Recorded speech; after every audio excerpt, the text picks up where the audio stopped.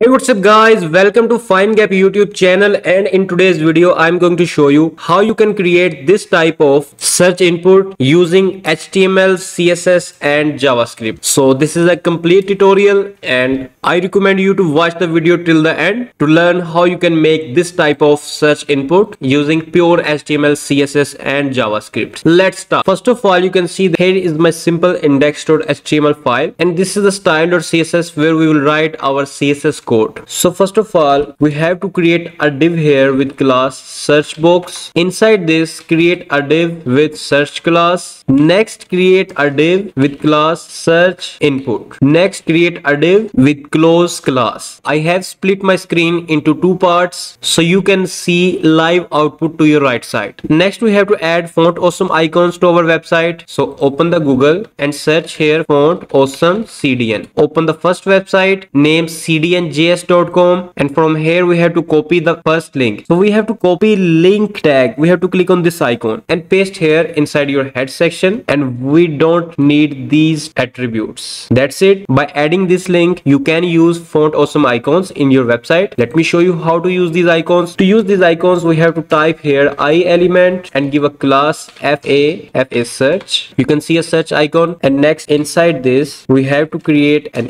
input and type here place placeholder search here. And inside this div we have to create an i element with class fa fa next we have to open style.css and type here asterisk padding 0 margin 0 and box sizing border box. Next just copy this body element and paste here as it is. Type display flag justify content center align item center minimum height 100 vh and background. So we have to give background in a linear gradient uh, but I have already typed that background here. I just have to copy and paste here. So you can see the property. You can type this and this linear gradient background is beautiful background blue background. And basically these four lines were to bring my these height 60 pixel width 60 pixel position relative and transition 0.5 second. Next copy this search class and paste here with a dot and type here line height 60 pixel text align center and minimum width 60 pixel. Friends we have to change one thing uh, first of all i will comment my this overflow and this justify content. Not center give value space between. So now you can see that my input and the close icon is to the right side and when i will uncomment this overflow hidden you will see this beautiful icon. Next type here dot search space i. It means that we are going to give style to our this i element which is exist inside this search class. So give font size 20 pixel. Yeah it's looking good. Next again copy the search box class paste here with a dot type space and copy this search input class and paste here with a dot. And first of all i will uncomment this overflow hidden property so you can see uh, its style. So we have to type here position absolute left 60 pixel line height 60 pixel height 100 percent and width calculate 100 percent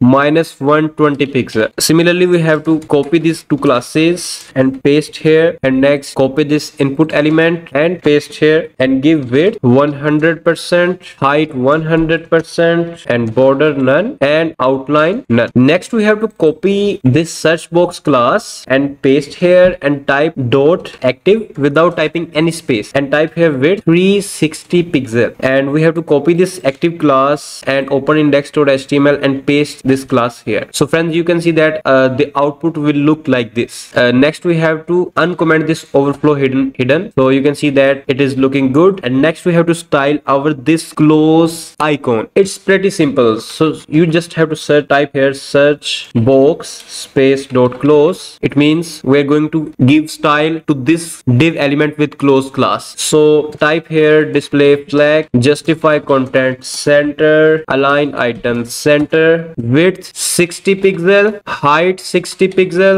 and font size 20 pixel. Friends you can see that we have made a, beautiful input. Next we have to write a little bit javascript code to make the open and close animation. So open the index.html and scroll down and type here a script element. Type here var search is equal to document dot query selector. Type here this class. Search class put semicolon and next again copy and paste this and type here search box document.query selector and inside this type here search box. And next we just have to set an on click listener. Basically this query selector function will select the first element inside our document with class search and so on. So next we have to type here search dot on click is equal to function search box dot class list dot add active semicolon. And let me remove this active class and when i will click on this you can see that it is opening now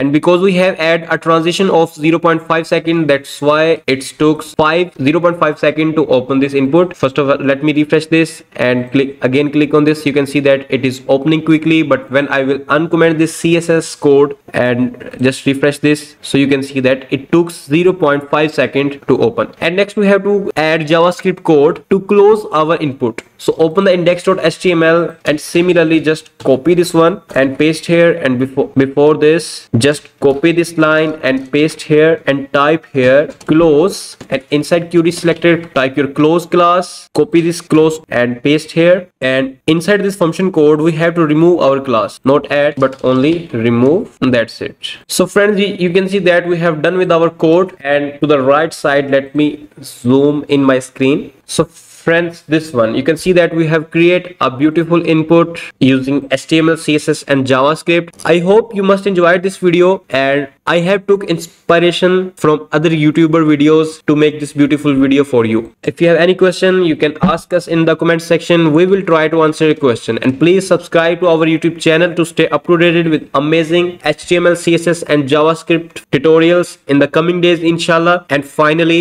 thanks for watching